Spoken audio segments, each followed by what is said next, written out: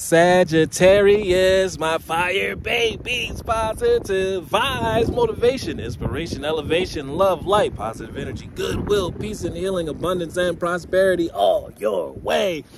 Bad health is big business. I'm here to put them out of business. Head swelling, PTSD, stroke, anxiety, depression, mental illness, physical ailments at a all-time high, all at the age of an all-time low. And I'm here to heal that with my Fountain of Youth technique. But before that, Sagittarius, your word of the day is to return to your heart. What makes your heart sing? Where are the gifts? Where are the talents? What are the hobbies that you actually enjoy doing? Not what the world says is cool, not what the world says will sustain you. What do you enjoy? What are your favorite foods? What are your favorite activities? That will be your breakthrough because when you are in your in your element, when your fire is steady and strong, not just very furious like a wildfire that can burn up the whole world because you're just in every circle trying to make sure you maintain. Well i think this will work because people will they, might accept me because there's no once you accept yourself the world accepts you and they gravitate towards your fire and your flame. I breathe light and stick to the essentials of my soul.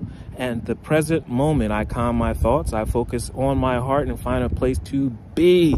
When you're in your peaceful place great thoughts creativity actions come so easily to you. And when you're performing, you're, you're a genius. You're logical, you're real, you're not fake. That's why things manifest and actually work for you.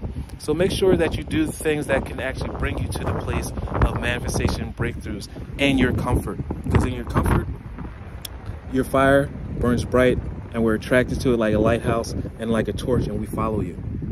Where light and greatness are, I find peace and inner silence. That's within yourself. So remember, Return to your heart. Do things that you love to do and you find a passion for.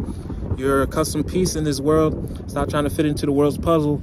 Create your own puzzle and watch how people love the piece and that you have in the picture that you've painted and you've put together. Love one another. Be kind to one another. And please like, share, comment, subscribe. This page been a blessing to you. I love you.